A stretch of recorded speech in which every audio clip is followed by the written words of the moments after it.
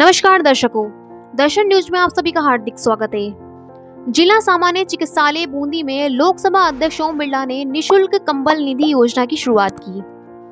जिला अस्पताल में भर्ती मरीजों के तामिरदारों को कंबल और रजाई का वितरण किया।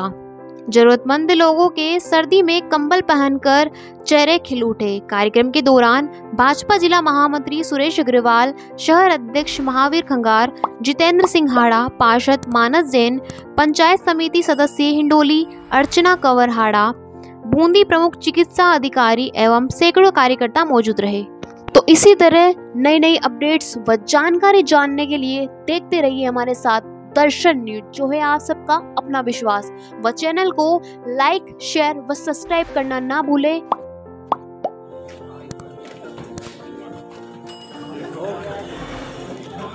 भी हमारे लोकसभा अध्यक्ष जी का स्वागत करें। त्रिलोक जी हमारे चिकित्सा प्रकोष्ठ के जिला संयोजक हैं। उनसे निवेदन की वो भी लोकसभा अध्यक्ष जी का स्वागत करें।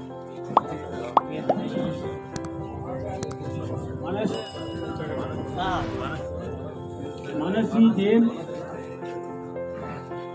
मोहन कराट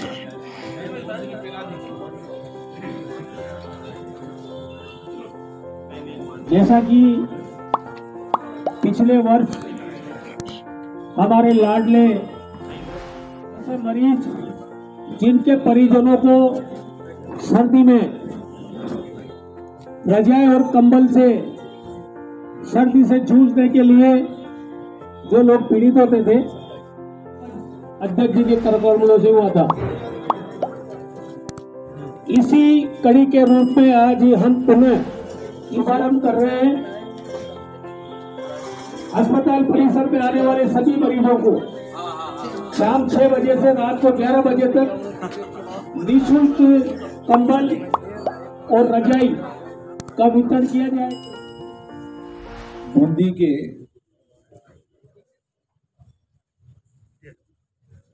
इस डिस्ट्रिक्ट हॉस्पिटल के अंदर। आसपास के गाँव के लोग अपना इलाज कराने आते हैं। उनके साथ उनके सहयोगी अटेंडेंट परिवार के लोग भी आते हैं। मैंने कई बार देखा कि जो परिवार के लोग आते हैं, वो इमरजेंसी में आते हैं, अचानक आते हैं।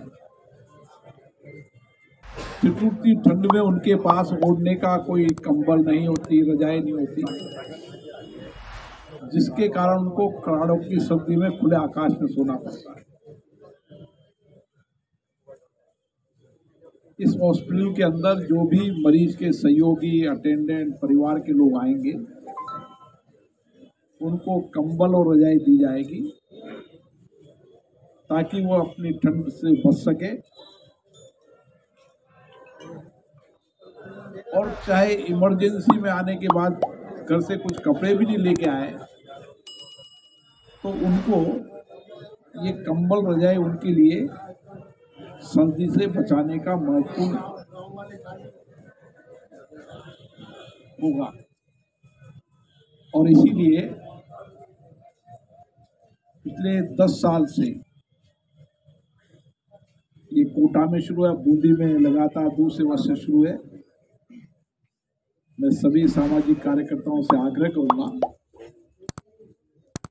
कि वो ऐसे मरीजों को उनको जानकारी होना चाहिए कि अगर हम कुछ भी खुले आकाश में अगर सोते दिखे फुटपाथ पर कहीं भी खुले आकाश में सोते दिखे, उन सबको सर्द शुरू होगी है कोई दिन बाद तेज सर्द पड़ेगी।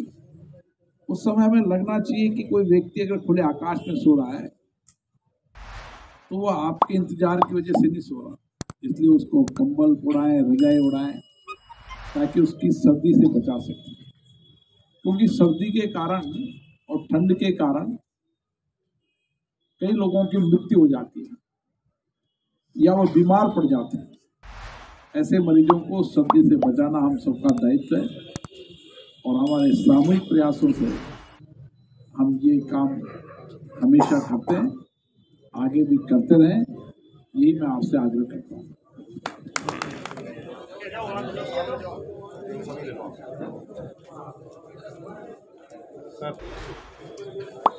एक आते जाओ कहाँ के रहने वाले हो? रघुनाथपुरा किसका इलाज कराने आए हो? बच्चा की माया जी काम आ जाएगा आपके?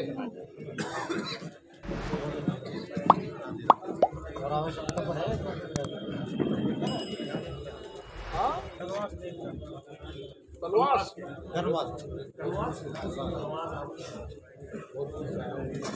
कैसे आया तलवार आई का। और कोई दिक्कत दिक्कत नहीं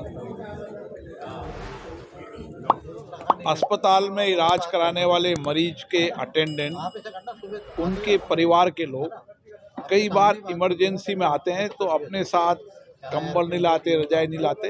और उनको उस कारण खुले आकाश में सोना पड़ता है। कहीं रेन बसे रहे तो वहाँ पर इंतज़ाम हो जाता है, लेकिन जो खुले आकाश में सोते हैं, उन लोगों को एक कंबल, एक रजाई दी जाती है ताकि वह सर्दी से बचाव हो सके। और मैं सभी सामाजिक कार्यकर्ताओं से आह्वान करूँगा कि जब भी वो खुले आकाश में किसी को सोते दिखे, उसके कंबल और रजाई का इंतज़ाम करें ताकि हम सर्दी से लोगों को बचा सकें, क्योंकि सर्दी के खुले आकाश में कई लोग बीमार पड़ जाते हैं, कई लोगों की मृत्यु हो जाती है। ये हमारे लिए चिंता का कारण था इसलिए एक कंबल निधि कार्यक्रम शुरू किया है। वैसे आम जन से और प्रबुद्ध जनों से भी मुलाकात का कार्यक्रम रहा है। आमजन प्रमुख जनों से संवाद चर्चा के माध्यम से उनके गाँव के अंदर कोई समस्या आती है कोई कठिनाई आती है कोई परेशानी आती है काम करने में जो चुनौती आती है कैसे उनकी समस्या का समाधान हो सके कैसे उनकी चुनौतियों का समाधान कर सके? इसके लिए कार्यकर्ताओं से, सामाजिक लोग से, राजनीतिक कार्यकर्ताओं से जो संवाद करते हैं, उनके जो फीडबैक आते हैं, उसके आधार पर कार्य योजना बनाकर उनको जीवन को कैसे बेहतर बना सके, उनकी समस्याओं को कैसे समाधान कर सकते हैं, इसके लिए सामूहिक संवाद की चर्चा का कार्यक्रम है।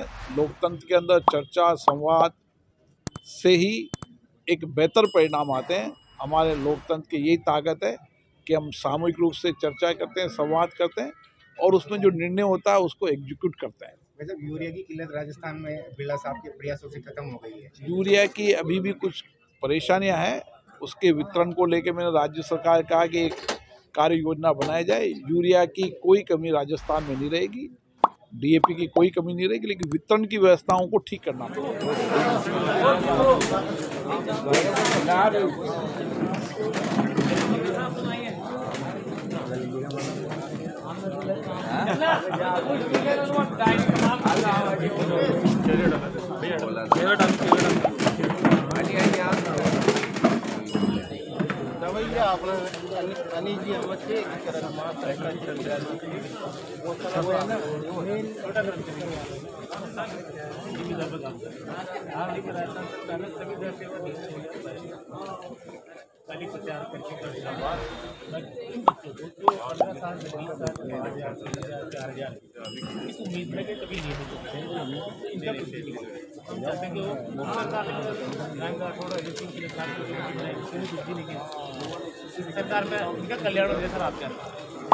嗯，好的，好，